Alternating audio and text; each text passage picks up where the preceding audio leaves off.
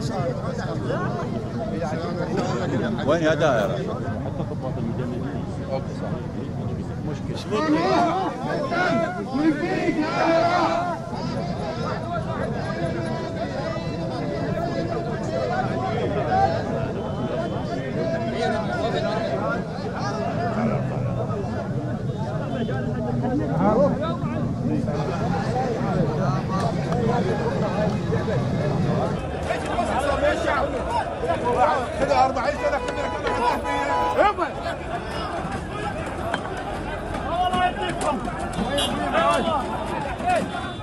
هذا حال المتقاعد بالعراق شوفوه. هذا حال المتقاعد يطالب حقه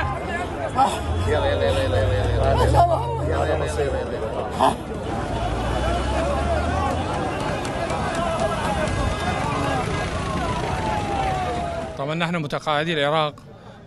مجتمعين الآن آه، لاخذ حقوقنا من آه، لأنه انظلمنا هواية وعندنا يعني ما آه، عيشتنا صعبة كلش ومدى كل ما نجي ما يسوون لنا شاره فهالمرة إن شاء الله حتى لو توصل للاعتصام ونوقف بالشوارع وتسد الشوارع همينا حال بس إن شاء الله ما توصل لهي الحالة.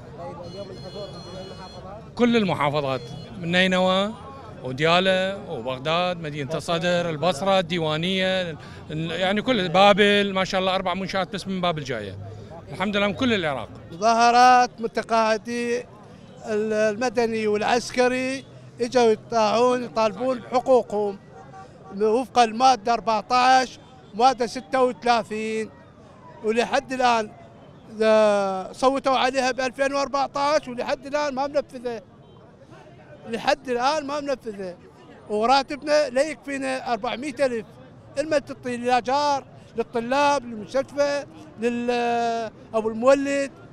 ما عندي. منين أجيب اني؟ رواتب متدنية. زين.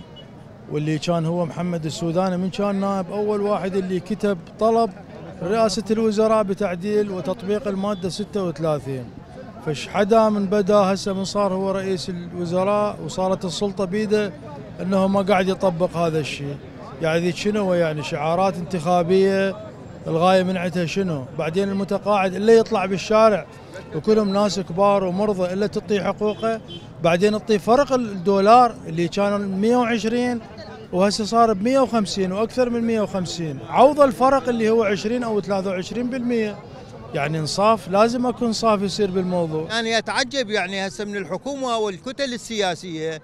آه، يعني ناس عمره 65 أو 70 أو 75 أو 80 هذا كم مرض في القبي الراتب اللي ناخذه هو كله للطبيب وللصيدلاني أو للقضايا الصحية. فكن على ثقة يعني يعني هسه حتى صاحبيهم يذب من راتبه فد 200 250 على هاي الشغلات.